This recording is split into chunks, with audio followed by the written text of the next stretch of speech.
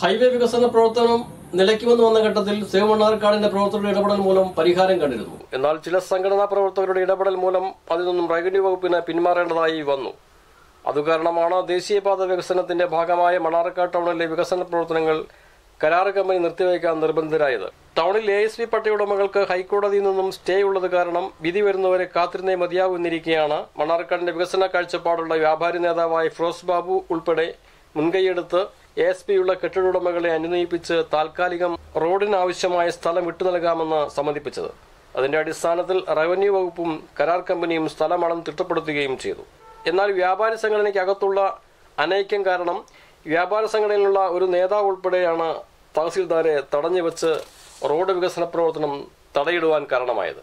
എന്നിട്ടിപ്പോൾ വ്യാപാരിയെ കൊണ്ട് സമരം ചെയ്യിപ്പിക്കാൻ മുൻപന്തിയിലും മറുഭാഗത്ത് വികസന പ്രവർത്തനം തടഞ്ഞു നിർത്തുകയും എന്നുള്ള ഇരട്ടത്താപ്പാണ് മണ്ണാർക്കാട് കാണുന്നത്. എല്ലാം ജനങ്ങൾ തന്നെ വിലയിരുത്തട്ടെ.